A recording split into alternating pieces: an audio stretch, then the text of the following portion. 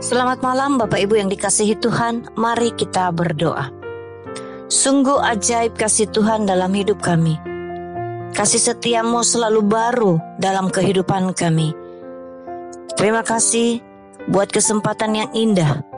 Malam hari ini kami boleh kembali belajar akan kebenaran firman-Mu. Pakailah hambamu yang lemah dan terbatas ini. Di dalam namamu Tuhan kami sudah berdoa. Amin.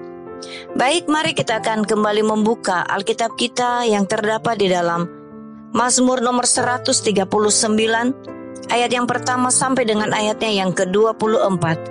Dan tema kita pada malam hari ini, Dia Allah yang Maha Tahu. Bapak Ibu, pernahkah kita berpikir bahwa tidak ada siapa pun yang mengetahui pergumulan kita? Daud menyadari bahwa hal itu tidaklah mungkin, sebab Tuhan adalah Allah yang Maha Tahu. Allah tahu ketika Daud duduk atau berdiri, berjalan atau berbaring, bahkan perkataan-perkataannya yang belum terucap. Tidak ada tempat bagi manusia untuk lari dari Allah. Bagaimana mungkin manusia bersembunyi dari Allah sementara dialah yang merendah kehidupan manusia sejak dari kandungan. Pengalaman hidup bersama dengan Allah memberi Daud pemahaman bahwa Allah yang ia sembah adalah Allah yang maha tahu. Pengetahuan akan kuasa Allah tidak terselami dan terjangkau oleh pikiran manusia. Pemahaman ini bukan hanya didapat dari kegiatan religius, melainkan perenungan Daud akan kehadiran Allah yang ia alami secara langsung. Daud bersyukur karena kejadiannya dahsyat dan ajaib.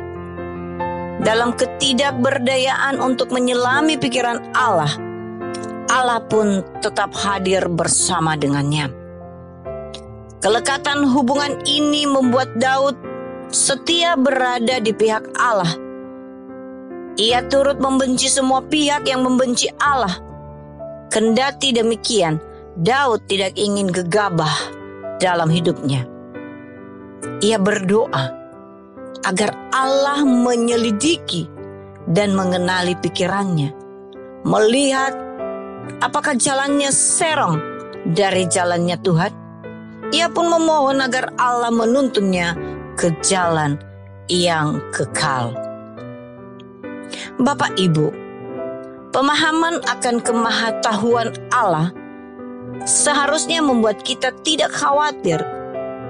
Ia yang merendah hidup kita sejak dari kandungan ibu.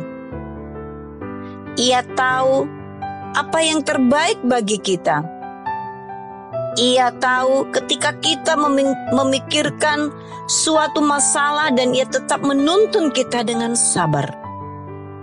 Kemahatauan Allah sepatutnya menimbulkan kegentaran dalam diri kita agar hati-hati melangkah dalam hidup.